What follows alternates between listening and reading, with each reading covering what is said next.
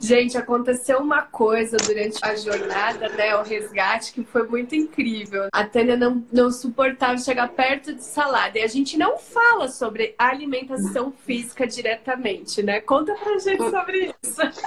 Exatamente. Aí, assim, é, como eu sempre falo pra Fran, uma coisa que ela, ela usava muito, eu lembro que ela falava muito do giro de chave. Você vai girar algumas chaves e tal, e eu não entendia muito bem na prática como que isso iria funcionar, né? E, gente, é isso mesmo.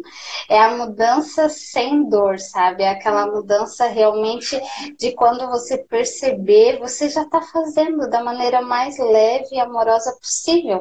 Então, assim, eu realmente no resgate a gente não fala de alimentação, entendeu? Porém, né, o, o, o acolhimento, né? tudo que você passa nos vários encontros vai proporcionando esse amor próprio. Quando você vê, você já está se, se cuidando. É uma coisa que você quer. Não é uma coisa que diz, não, agora você tem que mudar e tal. Não, é quando você já vê já foi, entendeu? Da maneira mais amável possível, né? A minha vida inteira eu não comi salada. Inclusive, obviamente que eu me culpava por isso. No meio do caminho, no meio do resgate, assim, de repente aquela necessidade, sabe? Fazer o almoço em casa e pensava, não, preciso de uma salada e detalhe, preciso de coisas coloridas e assim, suco natural e a satisfação, né? Vocês imaginem, eu que não gostava, que inclusive me culpava, vendo que o meu corpo estava pedindo e eu podendo atender isso